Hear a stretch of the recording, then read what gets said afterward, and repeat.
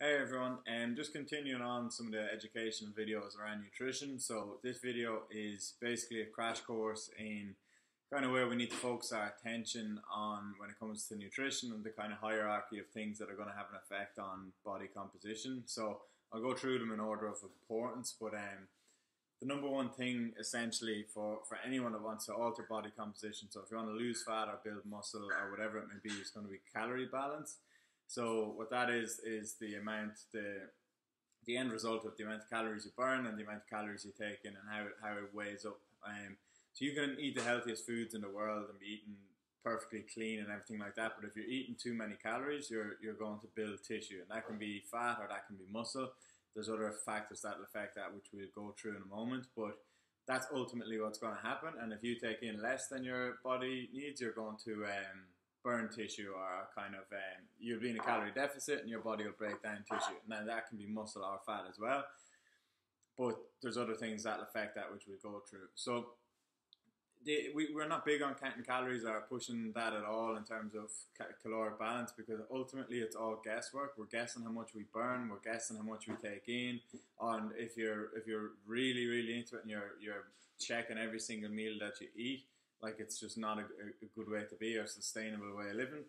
Um, now, if you've if someone hasn't ever used MyFitnessPal or food tracking app, it's good. It's a good exercise to do for a week or like you know for a week or two to get your head around some of the figures and and see how much you're taking in. Because when we self-report, or we can kind of kid ourselves and think that I, am only taking in X amount of calories, and you could be taking in more. And the other simple way to just check it is if your weight has been going up, you're likely to be in a calorie surplus, and if your weight has been coming down, you're likely to be in a calorie deficit. If your weight is more or less stayed the same, you're basically cancelling each other out, so so your weight's going to stay constant. Um, the thing to remember about it when, when we look at that calorie equation is the two things that are going to affect it or alter it are going to be exercise and nutrition. So ways that we can put you into a calorie deficit is by making you exercise more, so you're burning more calories, and by bringing down your total amount of calories from your food. In particular, if we if we take out certain foods that are really high calories, or you know, like if we eat lots of carbs, it's, it's easy to eat a high amount of calories in those things. So we take those out a bit as well. So, um, it's not where we focus most of our energy, but it just has to be respected in terms of that calorie balance. Um, because no matter what we do after that, if, if, if that doesn't add up, we're not going to get the results that we want. So second to that, or the, the second most important thing is going to be our macronutrients. And um, so that's going to be our proteins, carbs, and fats. And they're going to be ranked in importance in that order. So protein being the most important for body composition, carbohydrates being second, and then fat. So um, what that what we're talking about there in terms of macronutrients is the amount that we're getting. So ideally, we want people taking in like one and a half times their body weight in grams of protein a day. So if you weigh 60 kilos, you want to be hitting at least 90 grams of protein a day. Anything from 90 to 120 would be good there. So that's going to be um, one of the most important things because if you're not taking in protein, your body isn't going to build the muscle that you want. You're not going to be able to recover from the training and exercise that you do. And the other thing is that we store carbohydrates and we store fat in our body. So we can store carbs in form of glycogen in our muscles and liver, and we store fat as fat on our body, but we don't store protein. So we need a constant supply of protein in our body. So we'll talk about it in nutrient timing, but essentially that's why it's so important that we eat protein in every meal. And you'll start to see our rules or the reason for our rules as I go on. Um, protein is going to be number one, carbohydrates going to be number two.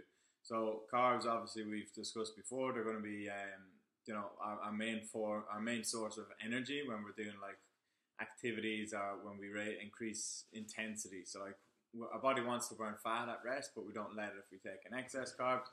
So we want to control our carbohydrate intake and match it to our exercise output. So on non-training days, we can pull out on the high calorie, high energy carbs, and we'll get enough carbs that our body needs from our vegetables and stuff like that. So that's why our base is always going to be protein every meal, veggies every meal, and then add in our high energy carbs when we need them.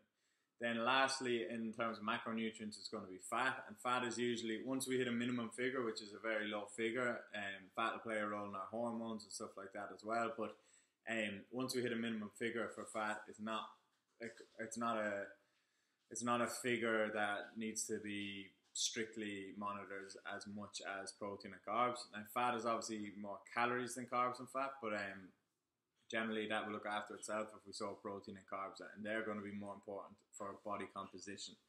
So then, after we've done calorie balance, we've looked at our macronutrients. Then the next most important thing is going to be nutrient timing.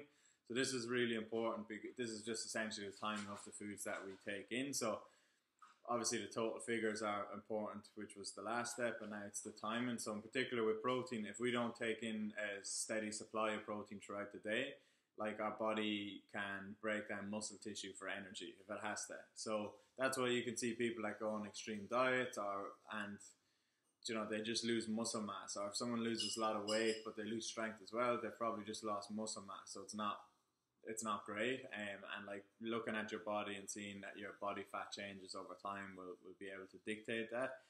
But um, that's why we want a constant supply of protein throughout the body, and that's why you can't just eat like 100 grams of protein in one meal. Your body won't digest it all, so it's better to have a constant supply every time you eat.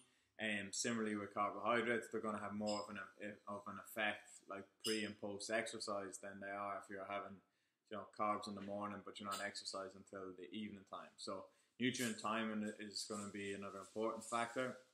Um, and then after nutrient timing, once we have that done, so we've three boxes ticked, then you're looking at um, like food composition or just the, the general makeup of the food. So, um, you know, like a chicken or beef or a lean chicken or a lean turkey is going to give you a more complete proteins than say if you're eating something like a, a chicken nuggets. Um, so real versus processed, and then certain proteins are going to be essential and have all of our amino acids and certain certain fats we can only get through a diet and stuff like that. So that's going to have an impact then, but we look after that by focusing on whole unprocessed foods constantly um, and, and that kind of eating clean.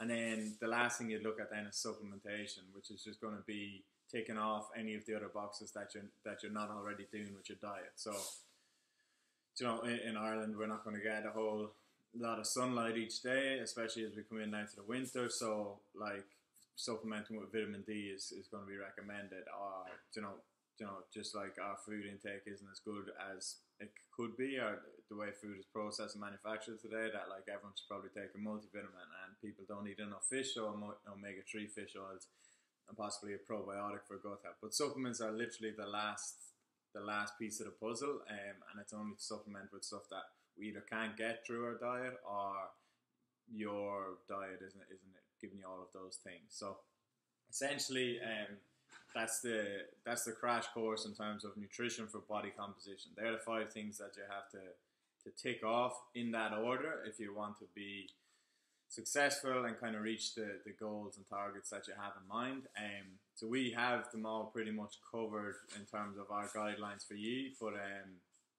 I guess it's good to have the background information on why why it all is that way. So any questions, uh, let me know.